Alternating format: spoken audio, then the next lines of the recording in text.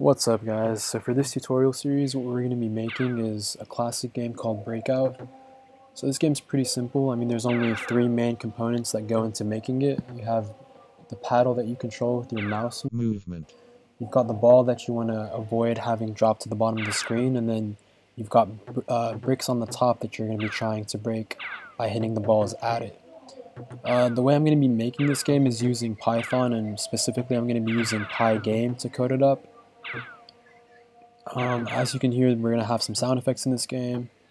Um, and so like one bonus feature I thought would be fun to add is to have some of the bricks essentially be pregnant to where when you hit them, you'll get another ball that drops down and it's kind of like an extra life, I guess you could say. Um, it's not the most high quality game ever, but it's going to have enough functionality to where you'll kind of learn the basics of Pygame and how to actually make a game using Python. So I hope you guys all enjoy this series. And yeah, best of luck. And by the way, all the resources that are going to be used in this game are going to be down in the description below. Just download those and then drag them into the folder that you're going to be making this game in.